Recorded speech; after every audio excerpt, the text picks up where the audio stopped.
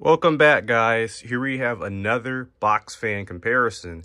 I'm going to be comparing the older Weather Shield motor on this side to the newer Weather Shield motor on this side. I already have the blade assembled. I'm going to be testing this one over here first, which is the newer Weather Shield PSC motor.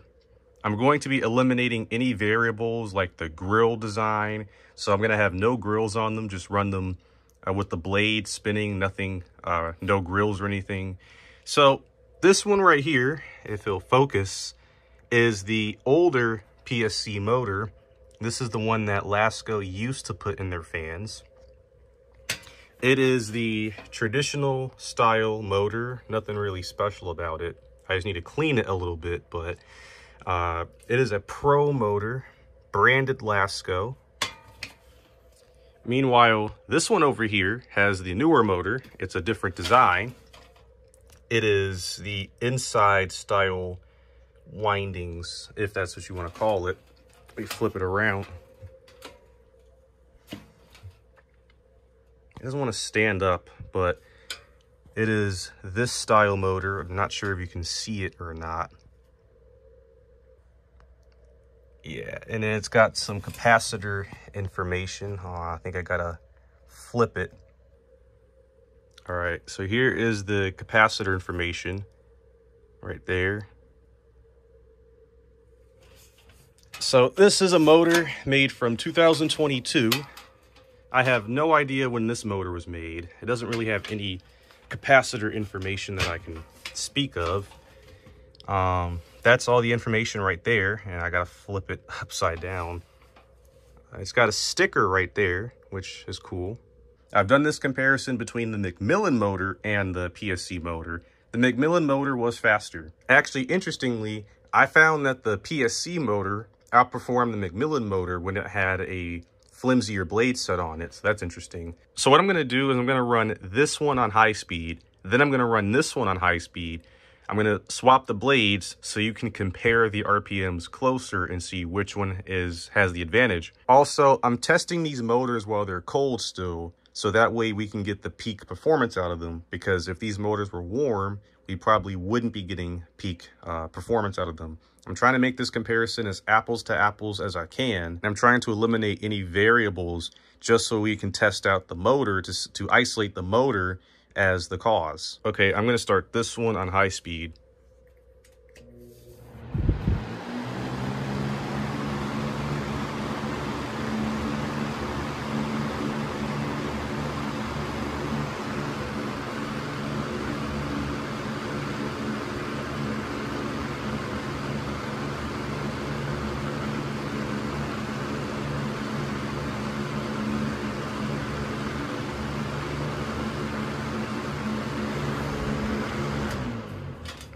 All right, now we're gonna start this one on high speed.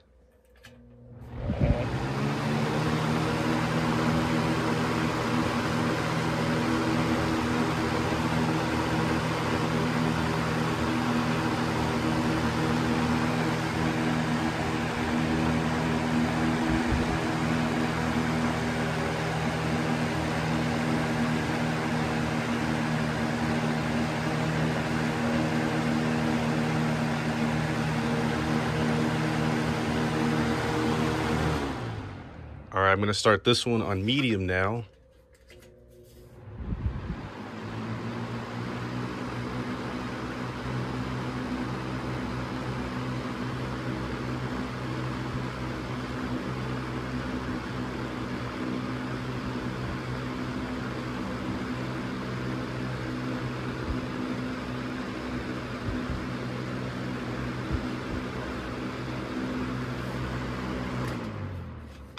All right, now we're gonna do medium.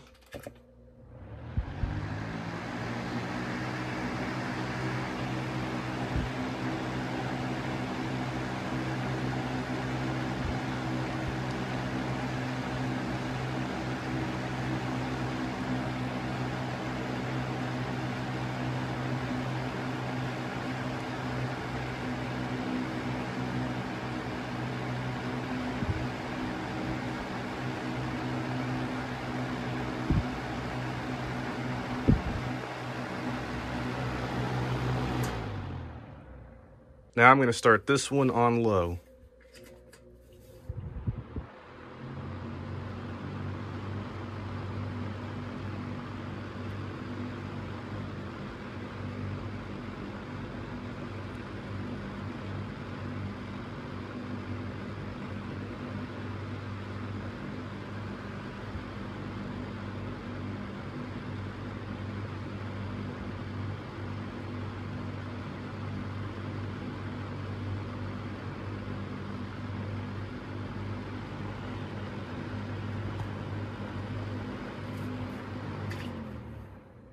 Now it's time for low.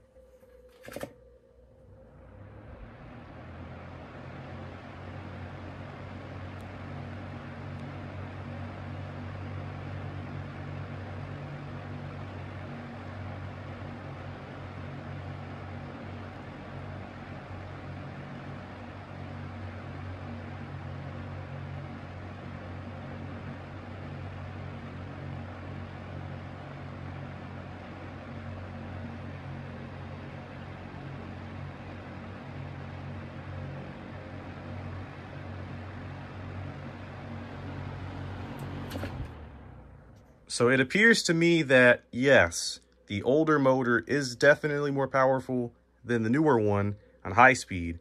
Now, interestingly, it actually seems to be a bit slower on low speed. It's not a bad thing. It actually just indicates it has a larger range in the speeds. And both motors appear to be lubricated pretty well. So I don't think lubrication is a factor here. It just makes sense that the newer motor consumes less power. I did also want to mention that the capacitors are slightly different. This one, the newer one, uses a 6 microfarad capacitor.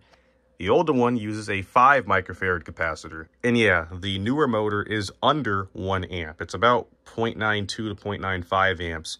This one is actually over 1 amp. It's about 1.1 to 1.2 amps. And the wattage is also higher on the older one too. And both of these motors will far outperform the larger capacitor uh, 3733 motors you might see out there. It is nowhere near these, especially the older PSC motor. It destroys the larger capacitor motors. But anyway, guys, hope you enjoyed. See you in the next upload, whenever the hell be.